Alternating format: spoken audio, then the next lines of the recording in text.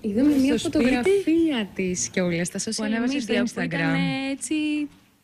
Γυμνή, σεξι. Γυμνή δεν ήτανε, φόραγε το μαγιό της. Το παθαίνουν τα παιδιά αυτά σε αυτές τις ηλικίες και πιστεύω ότι και αυτή θα το διαπιστώσει γρήγορα ότι αυτό δεν είναι κάτι το οποίο ε, γίνεται με τέτοια ε, έτσι, ευκολία. Αλλά όταν ε, ο πρωταγωνιστής είναι ένα παιδάκι 22 χρονών που αυτή η γενιά ζει με τα facebook και τα instagram, νομίζω ότι πρέπει να του δίνουμε ένα σχόρο χάρτη. Μπορεί ο καθής ανώνυμος, επώνυμος, εμεί, να πιάσει και να γράψει το μακρύ του και το κοντό του, ε, κουβαλώντας ε, όλα τα δικά του θέματα και βγάζοντας τα δικά του θέματα.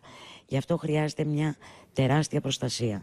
Ε, και πιστεύω ότι και η Δανάη θα το αντιληφθεί αυτό και θα ξεπεράσει την τρέλα της νιώτης και την, την αθωότητα που ενδεχομένως ε, φέρει αυτή η ηλικία και στην πορεία θα καταλάβει ότι θα αναγκαστεί να προφυλά, να θωρακιστεί.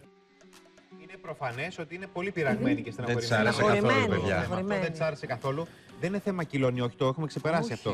Ότι το κορίτσι της, που είναι ένα νέο κορίτσι, φόρεσε τα ισόρουχά του ή το μαγιό. Όχι, δεν είναι ότι δεν της Ή άρεσε εσώρουχα. αυτό. Αυτό δεν της